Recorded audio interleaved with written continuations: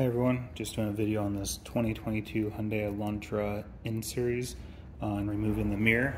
So I'm just going to kind of show you the steps needed. And on this, you don't need to take the whole door panel apart to access it. So all you do is open your door.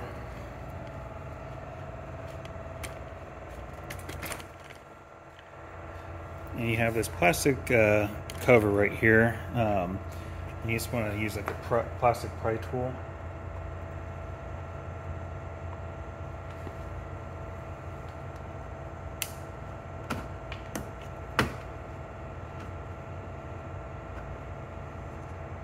It just pops off.